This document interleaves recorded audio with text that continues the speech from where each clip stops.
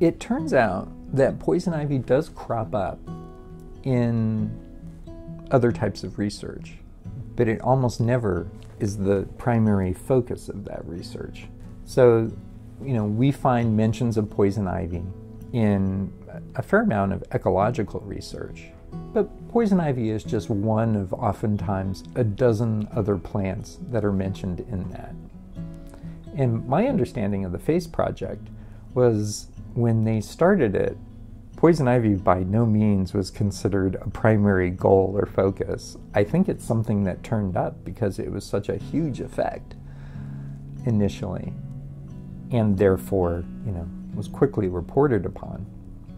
But in terms of poison ivy being the central focus of a particular research project, there are very few papers, scientific reports, in which poison ivy is sort of front and center of that research.